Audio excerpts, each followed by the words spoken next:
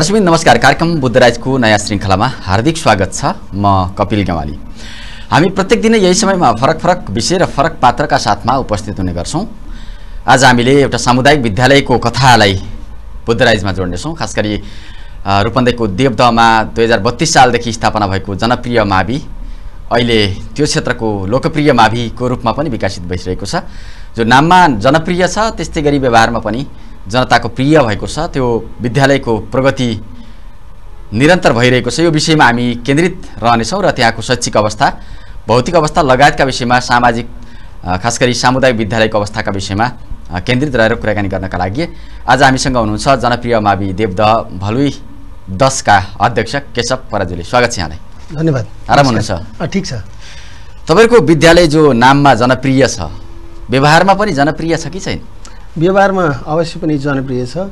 हामीले जहिलेदेखि त्यस विद्यालयमा चाहिँ हामी पाइला टेक्यौँ त्यसपछिबाट हामी विद्यालयलाई उन्नति र प्रगतिको लागि चाहिँ कसरी काम गर्न सकिन्छ भनेर व्यवस्थापन समिति र त्यहाँका समुदायहरूसँग छलफल र सरसल्लाह बमोजिम हजुर। हामीले त्यसलाई अगाडि बढाइरहेका छौँ। त्यसकारण निरन्तर रूपमा विद्यालयप्रति समुदायको माया बढ्दै गइरहेको छ।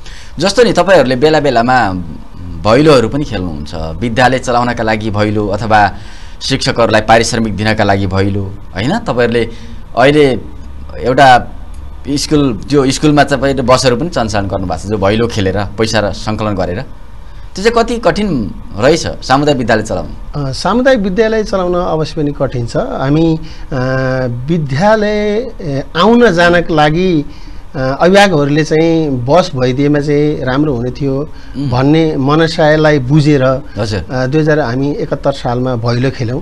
भैलो खेलेर हामीले चाहिँ त्यसलाई चाहिँ अभिभावकहरूको सुविधाको लागि टाढा टाढाबाट आउने अभिभावकहरूको सुविधाको लागि सुरक्षाको सुविधाका लागि? हजुर विद्यार्थीको सुविधाको लागि हामीले भैलो खेलेर चाहिँ बस सञ्चालन गरेका छौँ। कति बस चलाइराख्नु भएको छ अहिले? हाल हामी एउटा बस सञ्चालन गरिरहेका छौँ। त्यो अवश्य पनि अपुग छ। केही ठाउँहरूमा चाहिँ अथवा हामी विद्यार्थी सबै विद्यार्थीलाई ल्याउन चाहिँ सकिरहेका छैनौँ। आगामी दिनहरूमा यस यस्ता समस्याहरू यो अभावलाई चाहिँ पूर्ति गर्न हामी फेरि नयाँ कदम चाल्नेछौँ। जस्तो अब तपाईँको विद्यालयमा झन्डै झन्डै पाँच सयको हाराहारीमा विद्यार्थीहरू छन्। अब एउटा मात्रै बस छ भन्नुभएको छ। हुन त स्कुलको छेउछाउमा बस्नेहरू पनि धेरै विद्यार्थी होलान्। एउटा बसले कति विद्यार्थी तपाईँहरू विद्यालय पुऱ्याउनुहुन्छ हामी हाम्रो विद्यार्थीहरूको लागि अ, तिलोत्तमा नगरपालिकाको भूभू सैनिकमा हामी विद्यार्थी त्यहाँबाट लिएर आउँछौँ। अनि हाम्रो अलि टाढा टाढाका र अलि चाहिँ साना साना। बच्चाहरूको लागि जो सुरक्षाको दृष्टिकोणले पनि अप्ठ्यारो हुन्छ उहाँहरूको लागि ल्याउँछ। हाम्रो बसले हाल चाहिँ दुई चरणको बिहान दुई पटक गरेर चाहिँ विद्यार्थीहरू ल्याइरहेको छ। बिहान दुई पटक अनि बेलुका चाहिँ बेलुका छोड्न दुई पटक। हजुर हो। हो? त्यसो भएदेखि तपाईँहरूले झन्डै झन्डै दुई सयको हाराहारीमा एउटै बसमा धेरै विद्यार्थी कोच्ने चलन पनि देखिन्छ नि सामुदायिक विद्यालय अथवा अरू बोर्डिङ स्कुलहरूले पनि निजी विद्यालयहरूले पनि बसभित्र एकदमै बालबच्चाको आफ्नो अधिकार पनि सकिने गरी हनन हुने गरी जो भेडा बाख्रा जसरी कोचिन्छ नि हामीले त्यस्तै गरी विद्यार्थी बोकेको हामीले देख्छौँ। तपाईँको विद्यालयले के गरिरहेछ? हाम्रो विद्यालयमा यसमा के छ भन्नुहुन्छ भने हाम्रो विद्यालय निश्चित त्यस बस सञ्चालनको लागि निश्चित आर्थिक सहयोगको आवश्यक पर्छ। त्यस कारणले हामीले अभिभावकहरूबाट त्यसको सहयोगको चाहिँ अपेक्षा गऱ्यौँ र त्यस बापत अभिभावकसँग नै परामर्श गरेर सल्लाह गरेर हजुर। एक विद्यार्थी बरा- बराबर कति सहयोग गर्ने भनेर हामीले चाहिँ सहयोग माग गरेर उहाँहरूले यतिसम्म गर्न सकिन्छ भन्ने कुरा हामी सरसल्लाह र त्यो निर्णयले हामी विद्यार्थीहरूलाई बाट चाहिँ त्यो सहयोग लिन्छौँ। र ती सहयोग दिने जति पनि विद्यार्थी हुनुहुन्छ उहाँहरू चाहिँ बस्नुहुन्छ आउनुहुन्छ र न सहयोग नगर्नेहरू आफै अरू जो कोही साइकलमा आउनुहुन्छ कोही चाहिँ पैदलै नजिक नजिक पैदलै आउनुहुन्छ त्यस कारणले हाम्रो चाहिँ दुई पटक गर्नुको कारण नै त्यही हो। नत्र भने हामी जति पनि विद्यार्थी अहिले त्यहाँ विद्यार्थीहरू चाहिँ विद्यालयसम्म आउँछन्। विद्यार्थीहरू सिटमै बसेर आउन पाउँछन्। एकदम एकदम। कोचाकोच छैन। छैन छैन। हामी तपाईँको स्कुलमा एकचोटि आएर अध्ययन गर्ने अथवा अवलोकन गर्ने त्यस्तो भेटायो भने के हुन्छ? होइन निर्धक्कसित आउनुहोस् तपाईँहरू। अवलोकन गर्नुहोस्। त्यस किसिमको कुनै पनि खालको त्यस्तो एउटै सिटमा दुईजना तिनजना बस्ने अथवा विद्यार्थीलाई अप्ठ्यारो हुने खालको भएमा हामी त्यो बसलाई हामी दुईको ठाउँमा तिन पटक गरिदिन्छौँ त्यसमा चाहिँ कुनै समस्या रहँदैन। त्यसो भए विद्यार्थीहरू कोचाकोच हुने अवस्था उभिनु पर्ने अवस्था। अथवा पेलापेल हुनुपर्ने ठुलो विद्यार्थीले सानालाई पेल्ने त्यस्तो त्यस्तो बसमा त्यस्तो। छैन। छैन त्यसो भएदेखि त्यहाँका अभिभावकहरू कति सन्तुष्ट हुनुहुन्छ? तपाईँका कामहरू विद्यालयले गरिरहेको प्रगति तपाईँले भन्नुभएको छ राम्रै प्रगति गरेका छौँ। हामीले हामी आए पश्चात हाम्रो विद्यालय व्यवस्थापन समितिको घनीभूत छलफलले कम्प्युटर ल्याब चाहिँ हामी सञ्चालन गऱ्यौँ। हामीले चाहिँ स्मार्ट बोर्ड अथवा व्हाइट बोर्डमा. जो आइटी मार्फत चाहिँ सञ्चालन हुन्छ। त्यो गऱ्यौँ त्यसपछि हामी छात्रा मैत्री शौचालय बनायौँ व्यवस्था यो व्यवस्थित हलको व्यवस्था गऱ्यौँ अनि जो विज्ञान प्रयोगशाला पनि थिएन विज्ञान प्रयोगशाला अहिले लगभग देवदक्कै नमुना विज्ञान प्रयोगशाला भनिने गर्दछ बाहिर। विज्ञान प्रयोगशालाको चाहिँ व्यवस्था गऱ्यौँ र अहिले हामी आउनुभन्दा पहिला प्लस टू थिएन। प्लस टू चाहिँ हामी अहिले एघार बाह्र कक्षासम्म सञ्चालन गरिरहेका छौँ। त्यसका लागि भवन चार कोठे भवन अहिले चाहिँ त्यसमा बनेर विद्या विद्यार्थीहरू चाहिँ त्यहाँ अध्ययन गरिराख्नु भएको छ। हजुर। यस कारणले अहिलेसम्म हामीले जति पनि काम गरेका छौँ अभिभावकहरूले राम्रो छ भनिराख्नुहुन्छ बाहिरबाट र देवदाका अन्य शैक्षिक संस्थाहरूले पनि जनप्रियले फड्को मार्दैछ है भनेर सुनाउनु भएको छ हामीलाई। जस्तो निजी विद्यालयहरू बोर्डिङहरू छन् नि तपाईँको देवदामा पनि नाम चलेका बोर्डिङहरू छन्।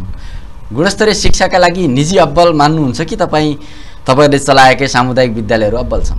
नतिजा कस्तो छ? यो नतिजाको कुरा भन्नुभन्दा पनि तपाईँहरूले मार्कसिटलाई आधार मान्नुभयो भने त्यो हा- सामुदायिक विद्यालय गर्न नसकेको अवस्था हो यसलाई हामी स्वीकार गर्छौँ। तर यसलाई व्यवहारिक रूपले हेर्नुपर्छ। हजुर।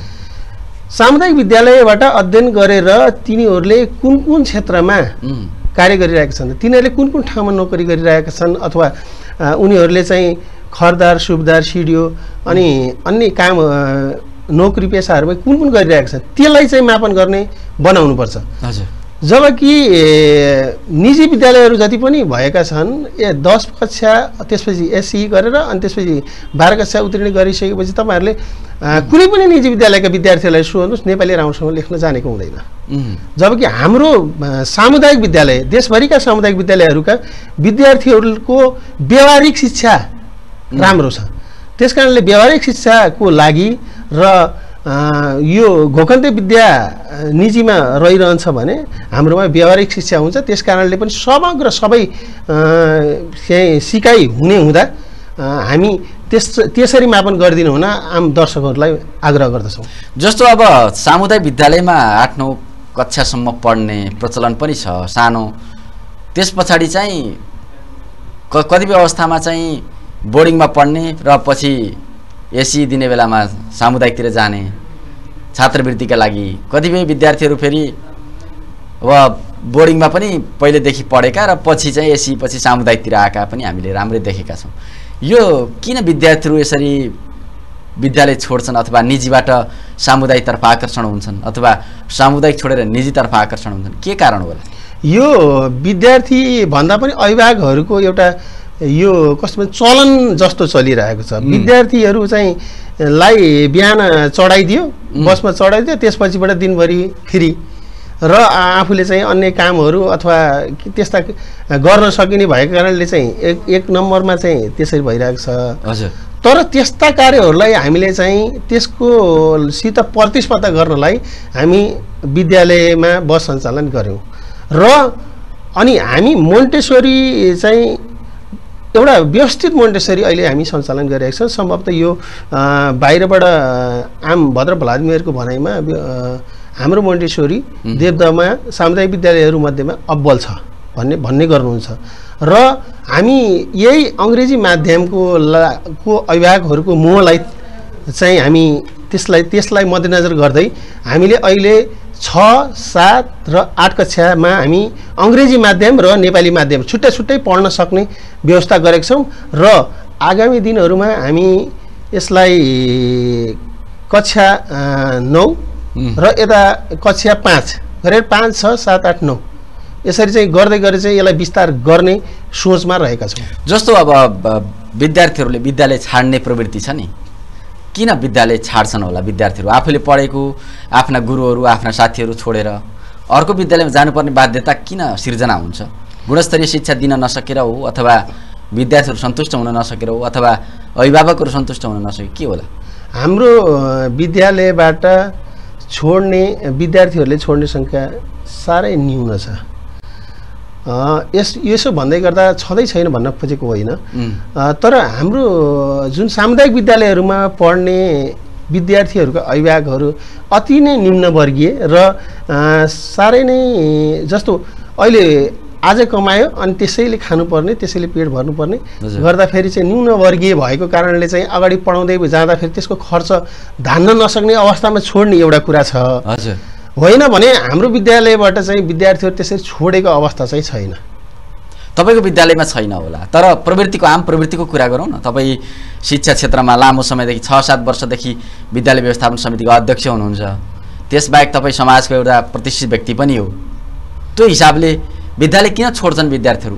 के पाउनुहुन्छ? विद्यालयबाट विद्यार्थीहरू छोड्नुको कारण अन्य कारण अभिभावकले त्यो विद्यालयमा चाहिँ गुणस्तरीय शिक्षा भएन भनेर छोड्न सक्ने अवस्था पनि रहन्छ। र अभिभावकले त्यो विद्यालय जाँदै गर्दा आउँदै गर्दा केही वि विद्यार्थीको लय लयलमा आएर कुलततर्फ फसेको कारणले पनि अन्य विद्यालयमा जान सकेको हुन्छ। यसमा विविध कुराहरू छन्। र विद्या अभिभावकहरूले सामान्यतः यो सामुदायिक विद्यालयका शिक्षकहरूले चाहिँ राम्रोसँग ध्यान नदिँदा पनि यस किसिमको चाहिँ विद्यालयबाट विद्यार्थीहरू अन्यत्र अन्य विद्यालयमा जाने प्रचलन अहिलेसम्म रहिरहेको छ र सामुदायिक विद्यालयका शिक्षकहरूले चाहिँ अलि राम्रोसँग ध्यान दिनुभयो भने यस्ता प्रवृत्तिहरू चाहिँ रोक्न सकिन्छ। जस्तो अब तपाईँहरू निजी विद्यालयसँग प्रतिस्पर्धामा हुनुहुन्छ कि सामुदायिक विद्यालयहरू कतिपय राम्रा विद्यालयहरू पनि छन् नि। सामुदायिक विद्यालयहरू नाम चलेका देशमा उत्कृष्ट भएका। हामीले रूपन्देहीका केही नामहरू पनि लिन सक्छौँ। तपाईँहरू निजीतर्फ प्रतिस्पर्धामा हुनुहुन्छ कि सामुदायिकतर्फ अझै राम्रो गरौँ भनेर प्रतिस्पर्धामा हुनु हामी निजीतर्फ र सामुदायिक तर्फ भन्न भन्दा पनि हामी हाम्रो विद्यालयलाई कसरी अगाडि बढाउने। भन्ने सोचमा छौँ। र यसमा हामी सामुदायिक विद्यालयमा पढेका विद्यार्थीहरू सानैदेखि कक्षा दससम्म जाँदासम्म बाह्रसम्म जाँदासम्म उसले कस्तो पढेछ भनेर सोच्नुपर्छ। यहाँ नाम चलेका केही सामुदायिक विद्यालयहरू जुन भन्नुभएको छ तपाईँले ती विद्यालयहरू भनेको कस्तो हुन्छ भने आठ कक्षा अघि तपाईँले त्यो कुरा जोडिसक्नुभएको छ। आठ कक्षामा पढेपछि अनि त्यसपछि सामुदायिकतर्फ जाने। उम्, यहाँका केही नाम चलेका सामुदायिक विद्यालय पनि त्यही अन्तर्गत पर्छन्।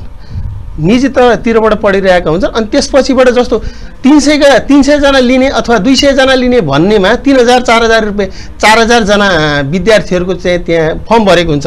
तिन हजार चार हजारजनामा जुन जुन उत्कृष्ट नम्बरका साथ उत्कृष्ट पढाइका साथ आएका हुन्छन् उनीहरूलाई छानेर उहाँहरूले लिनुहुन्छ। व्यापार हुन्छ। व्यापार हुन्छ। त्यस कारणले हामी पनि ए हामी चाहिँ यसलाई चाहिँ त्यस किसिमको हामी छानेर लिन सक्ने हामीलाई त्यस किसिमको अधिकार हामीलाई दिने हो भने हामी पनि त्यस किसिमको रिजल्ट दिन हामी सक्छौँ। यो जस्तो पढ्न चाहने विद्यार्थीहरू तपाईँले भन्नुभयो अघि प्रसङ्ग पनि आयो। सामाजिक सामुदायिक विद्यालयतर्फ जो बोर्डिङबाट पढेर गएका विद्यार्थीहरू आठ नौ दसमा बढी जाने प्रचलन पनि छ। होइन? यसमा निजी विद्यालयहरू निकै रुष्ट छन् कि? हामीले सानैदेखि घोकायौँ पढायौँ होइन? हाम्रो गुणस्तरीय शिक्षा हामीले दियौँ विद्यार्थीलाई जान्ने बनायौँ। त्यस पछाडि सामुदायिक विद्यालयमा विद्यालय विद्यार्थी जान्छ अनि त्यही विद्यार्थीलाई देखाएर सामुदायिक विद्यालयले आफ्नो नतिजा राम्रो छ हामीले राम्रो गऱ्यौँ भनेर उनीहरूले गुनासो गर्छन् नि। यसमा अब निजी विद्यालयले कतिसम्म गर्छन् भन्ने विषय केही समय पहिला एक एउटा के सञ्चार माध्यमबाट आइसकेका छ। अब पहिला अङ्क दिने क्रममा चाहिँ मार्कसिटमा चाहिँ पासै हुन नसकेको विद्यार्थीहरूलाई पनि चाहिँ उनीहरूले सत्तरी अस्सी नम्बर दिएर अनि पास गराएको त्यस्तो। पास भएछ नै भनेर अभिभावकहरूलाई चाहिँ प्रसन्न बनाउने आश्वस्त। बनाउने अनि उनीहरूसँग चाहिँ शुल्क लिने। विद्यार्थी टिकाइराख्नका लागि। टिकाइराख्नका लागि। किनभने उसलाई फेल गरायो भने त फेरि उनीहरूले चाहिँ ए यहाँ त राम्रो पढाइ हुने रहेछ। अँ। यसबाट अन- अन्यत्र सार्नुपर्छ। भन्ने खालको त्यस्तो हुनसक्छ। त्यस कारण विद्यार्थी टिकाइराख्न त्यस्तो गरिएको छ। सबैमा त छैन होला नि। होइन सबैमा छैन होला। तर हाम्रो विद्यालयमा पनि केही विद्यार्थीहरू बाहिरबाट आउनु भएको छ। विद्यार्थीहरू अहिले एकदम बाहिरबाट आएका यतिसम्म म तपाईँलाई एकदम ढुक्कका साथ र तपाईँलाई सबुत प्रमाण दिन सक्नेका साथ के भन्छु भने कक्षा छमा हामी विद्यार्थी एकजना विद्यार्थी यस्तो म आफै हुन त यो प्रशासनिक पाठ हो प्रहर शिक्षकहरूलाई दिनुपर्ने। तर कस्तो खालको चाहिँ विद्यार्थी आउँदो रहेछ नि त भनेर मैले यो प्रतिनिधित्वमूलक तरिकाले एकजना विद्यार्थीलाई चाहिँ मैले हेरेँ। त्यसमा कक्षा छमा पढ्ने विद्यार्थी सामान्य जोड घटाउ र सामान्य त्यो स्पेलिङहरू पनि राम्रोसँग पढ्न नसक्ने त्यस्तो पनि हामीले चाहिँ भेट्यौँ। बोर्डिङबाट आएको। बोर्डिङबाट आएको अब तपाईँहरूले अहिले भनिरहेको कुरा जो बढी बढी अङ्क दिएर अनि चाहिँ घोकन्ते बनाएर अनि जुन एससीमा अथवा एसएलसीमा चाहिँ केही चलखेलहरू गरेर चाहिँ त्यो अङ्क चाहिँ लगाएर केही व्यक्तिहरूलाई चाहिँ आफ्नो मोहमा आफ्नो परिधिमा पारेर त्यो गरिएको र त्यसरी अङ्क बढाएर अनि आफ्नो पब्लिसिटी बोर्डिङको पढि पब्लिसिटी अथवा निजी विद्यालयको पब्लिसिटी गरेर त्यस्ता खालको चाहिँ काम गरिएका हुन्। विद्यार्थी आफैमा अब्बल हुँदो रहेनछ त्यसो भए। विद्यार्थी आफैमा कमजोर रहेछ होइन? तपाईँहरूले यस यसमा चाहिँ अनुसन्धान गर्न त्यसलाई के कस्तो छ भनेर हेर्न पनि सक्नुहुन्छ। केही केही विद्यार्थीहरू अब्बल हुन्छन्। हाम्रोमा सामुदायिक विद्यालयमा पनि हुन्छन् निजी निजी विद्यालयमा पनि हुन्छन्। त्यसमा मैले सा निजी विद्यालयलाई अब्बल हुँदै हुँदैनन् भन्न खोजेको चाहिँ होइन। तर जो तपाईँले प्रतिनिधिमूलक एउटा विद्यार्थीसँग जो गर्नुभयो इन्ट्रेक्सन भनौँ न हजुर। त्यही गर्दाखेरि त्यही विद्यार्थी चाहिँ त्यति असक्षम देखियो। अथवा छमा पढ्ने विद्यार्थीले पनि राम्रोसँग जान्नुपर्ने कुरा पनि जानेको भेट्नु भएन। छ म मेरो भनाइ के भने त्यहाँ छसम्म पुर्याउँदा उम्, विद्यार्थी त्यहाँसम्म कसरी पुर्याइयो त एक जान्दै नजाने जबकि त्यो त्यो विद्यार्थीले त्यो जुन किसिमको मैले इन्ट्रेक्सन गर्दाखेरि सोधेको थिएँ तिन कक्षासम्म त्यो सबै जान्नुपर्ने थियो। हाम्रा विद्यार्थीहरू त्यो जुन किसिमको मैले भने। हाम्रा विद्यार्थी पनि तिन कक्षामा त्यतिसम्म जानेका हुन्छन्। जबकि उनीहरूले जानेनन्। मैले यो भन्दै गर्दा निजी विद्यालयहरू चाहिँ एकदम खराब छन् नराम्रो छ भन्न खोजेको चाहिँ होइन। प्रवृत्तिको कुरा हो। प्रवृत्तिको कुरा हो। त्यसो भएदेखि अब सामुदायिक विद्यालयहरू सक्षम हुँदैछन् दिन प्रतिदिन तपाईँले भने जस्तै गरी। तपाईँहरूको प्रयासबाट तपाईँको विद्यालय मात्र होइन अरू सामुदायिक विद्यालय पनि सक्षम हुँदैछन्। हो। सामुदायिक विद्यालय सक्षम हुने क्रममा छन्.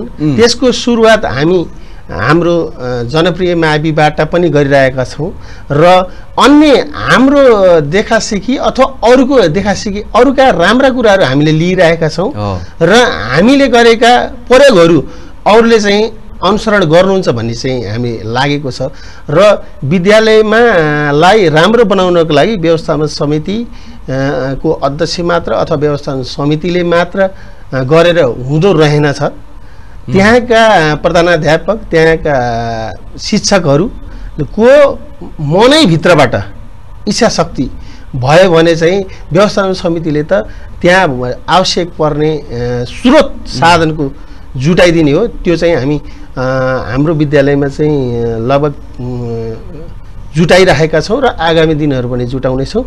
त्यस किसिमको चाहिँ सबैलाई चाहिँ हामी भन्न चाहन्छौँ। जस्तो अब देवतहमा म, खास गरी बौद्ध शिक्षा पनि लागू भएको छ कतिपय क्लासहरूमा होइन?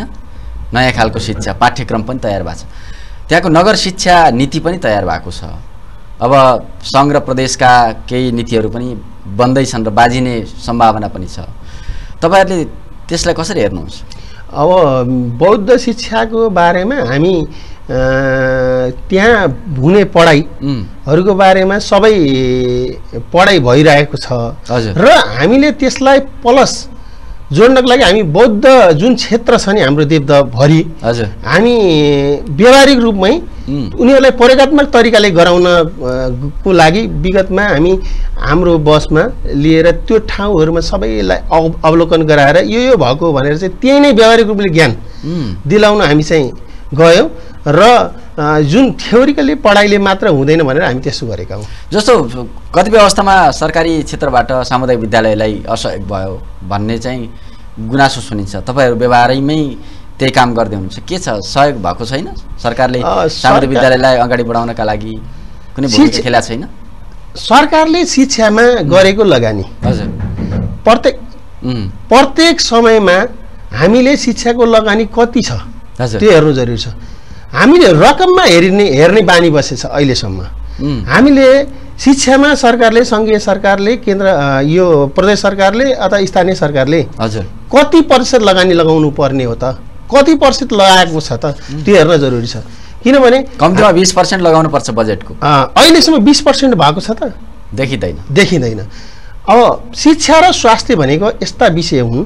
शिक्षा र स्वास्थ्य हरेक वर्ग हरेक धर्म हरेक लिङ्ग हरेक जात जाति र सबै समुदायलाई चाहिँ आवश्यक पर्ने चिज हो। हामी बाटो बनाउनको लागि अनि पुल पुलेसा बनाउनको लागि एउटा मन्दिर बनाउनको लागि धर्म चर्च बनाउनको लागि हामी लगानी लगाइरहेका छौँ। तर सबैभन्दा पहिला शिक्षा र स्वास्थ्यमा कति पर्सेन्ट लगानी लगाउने हो? त्यो राज्यले गर्नुपर्ने अति नै आवश्यक चिज हो। केशवजी हामी अब अन्त्यमा छौँ। अन्त्यमा तपाईँको दुई वर्ष कार्यकाल जो छ वर्ष दुई चरणको कार्यकाल छ वर्ष बिताइसक्नु भएको छ। अब तपाईँले देवदहमा रहेको यो जनप्रिय माविलाई कस्तो देख्न चाहनुहुन्छ? अन्त्यमा छोटकरीमा। अब हामीले यस जनप्रिय माविलाई अहिलेसम्म गरेका कामहरू अभिभावकहरूले मूल्याङ्कन गरिदिनुहुन्छ भन्ने हामी चाहना छ। र आगामी दिनहरूमा जनप्रिय मावि म दुई कार्यकाल अहिले चाहिँ गरिरहेको छु। र आगामी दिनहरूमा अझै पनि समुदायले विश्वास गरेमा आगामी दिनहरूमा यस विद्यालयलाई हामी प्राविधिक विद्यालयको रूपमा र सिपमूलक शिक्षा र विद्यार्थी बाहिर निस्केपछि त्यो विद्यार्थी चाहिँ समाजमा कहीँ कतै पनि हात फैलाउन नसक्ने गरी प्राविधिक शिक्षालयको रूपमा विकास गर्नेछौँ भन्ने म यहाँ आम दर्शक महानुभावहरूलाई अ, भन्न चाहन्छु। हस् धेरै धेरै धन्यवाद छ यहाँलाई समय र संवादका लागि। हस् त धन्यवाद। मलाई मेरो आफ्नो अ, भनाइ राख्ने अवसर प्रदान गर्नुभएकोमा हजुर लगायत बुद्ध टेलिभिजन सम्पूर्ण परिवारलाई हार्दिक धन्यवाद दिन चाहन्छु। हस् धेरै धेरै धन्यवाद छ दर्शकहरू आज हामीले कुराकानी गऱ्यौँ देवदह दसमा रहेको जनप्रिय माविका अध्यक्ष केशव पराजुलीसँग आजको कुराकानी कस्तो रह्यो केही प्रतिक्रिया भएको खण्डमा हामीलाई पठाउनुहोला। आजका लागि समय सकिएको छ। कपिल गेवालीलाई पनि आज्ञा दिनुहोस्। नमस्ते।